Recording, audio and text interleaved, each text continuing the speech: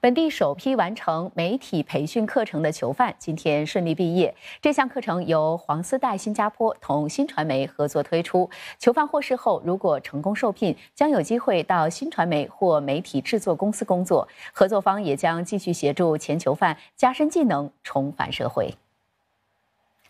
二十八名囚犯今天上午参与在张义监狱举办的毕业典礼，其中十五人获得社交媒体营销和网络内容创作专业文凭，另外十三人则获颁内容制作与管理媒体文凭。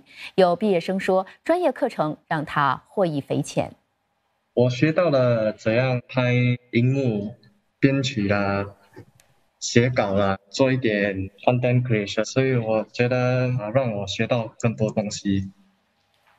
囚犯未来的潜在雇主也出席了线上典礼。新传媒表示，希望能协助囚犯跟上数码转型的脚步，把握在媒体领域的就业机会。